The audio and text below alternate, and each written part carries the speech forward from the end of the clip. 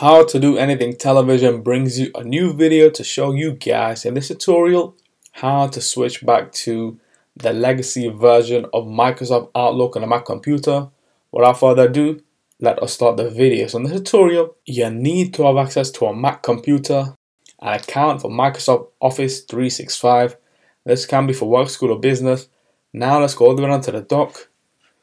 Go to Launchpad, go to Mac Office, go to Outlook. Make sure you are signed into this account. So we are already on the legacy version of Outlook. Let's switch to the new version. Click on New Outlook. That will close the application and reload, reopen. To navigate back, click on Help. Go to Revert to Legacy Outlook go back to the new Outlook.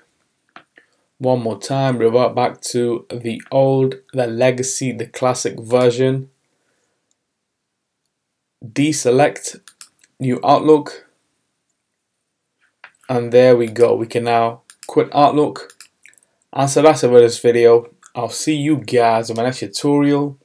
Thanks for now.